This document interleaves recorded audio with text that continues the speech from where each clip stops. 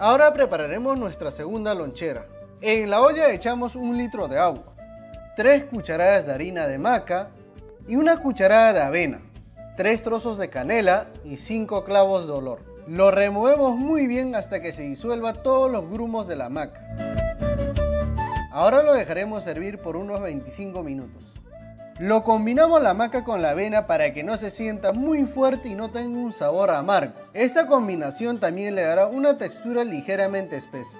Cuando preparamos esta bebida tenemos que estar removiendo constantemente y cocinar a fuego lento para que no se pegue en la base de la olla. Pasados los 25 minutos, la maca ya estará bien cocida y le echamos el azúcar al gusto. Luego lo reservamos para que pueda enfriar. La manzana que vamos a poner en la lonchera lo pueden enviar entera o cortarlo de esta manera, en trozos pequeños.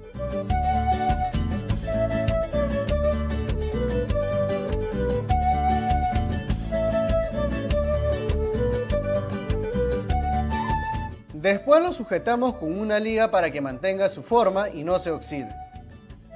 Cuando lo sujetamos con la liga de esta manera no se oxidará y le será más sencillo para el pequeño consumirlo.